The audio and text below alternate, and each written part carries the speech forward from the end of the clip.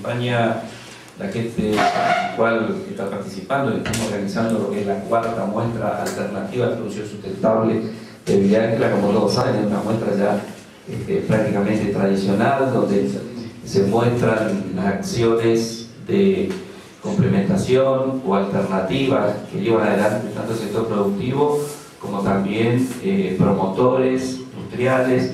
y en general toda la actividad que hace el quehacer productivo y el desarrollo local de nuestra ciudad. Y en ese sentido se articula con entidades e instituciones,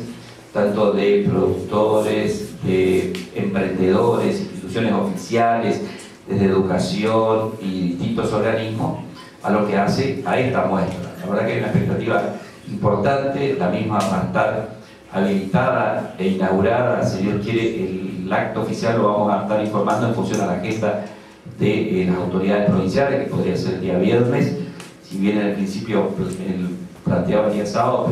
pero probable que va el día viernes, en función a la agenda de, de los ministros concretamente. Y bueno, un poquito para que la gente y la ciudadanía y la región la provincia eh, sepa de las distintas acciones, eh, lo que va a poder ver, el desarrollo del mismo, que tiene un complemento, por otro lado, una actividad de capacitación, de información, de difusión, con charlas tanto de los bancos, Banco de Chaco, Fiduciaria, eh, el APA y distintos otros organismos, hacia que esta muestra tenga también una particularidad muy especial. yo antes que nada quiero agradecer al municipio local por el, por el apoyo brindado, al Consejo Local Asesor, donde están representados todas las entidades y los grupos de productores, eh, de que podamos eh, el día 17 estar inaugurando esta cuarta muestra de producciones de alternativas productivas sustentables. Eh, esta muestra se presenta este año con una innovación que va a estar presentada por Senderos, y donde también tiene un papel muy importante el sendero institucional. O sea, toda la parte productiva, a veces sin la parte de la gestión, sin la parte del apoyo de las organizaciones, también a veces es imposible. Por eso,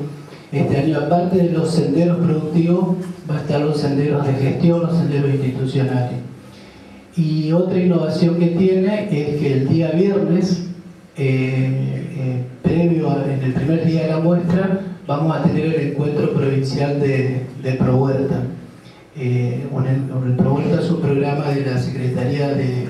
Ministerio de Desarrollo de la Nación que lo ejecuta el INTA que está dirigido a la, población con necesidades básicas insatisfechas. Y para nosotros un orgullo de que el programa ProHuerta haya pedido hacer este encuentro provincial hace todos los años en el marco de esta muestra. Eh, desde ya la invitación a toda la comunidad a participar, la entrada es totalmente libre y gratuita y como todos los años eh, la gente va a poder eh, disfrutar de patios de comida, de espectáculos folclóricos, o sea, tres días como para ir a pasar con la familia y ver todo el potencial productivo alternativo que tiene la región. Una, consideración aparte también va a ser la presencia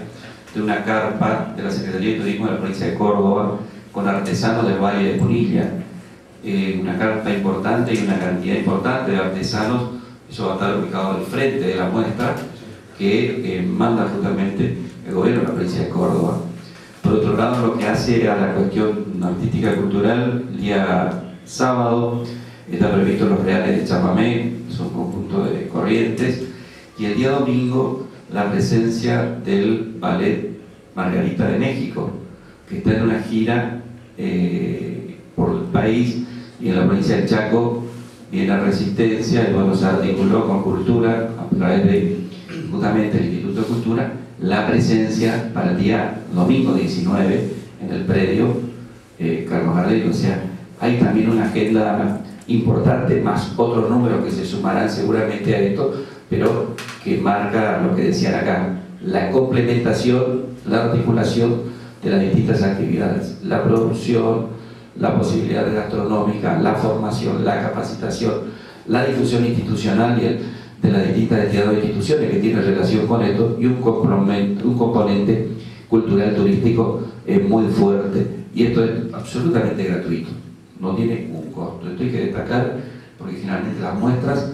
tienen su costo, tienen un valor de entrada, en este caso es con aporte del Ministerio de la Producción, al cual queremos agradecer el aporte que hace de las distintas entidades e instituciones del sector privado y de los expositores en algunos casos que a través del cobro de algún arancel permite solventar todos los gastos que tiene una muestra de este tipo donde hay que traer disertantes en algunos casos donde a veces hay gastos de traslado o de alojamiento que eh, hay que atender. Así que esto es destacable también y esperemos que como ya estamos acostumbrados, seguramente un marco más que importante de público y de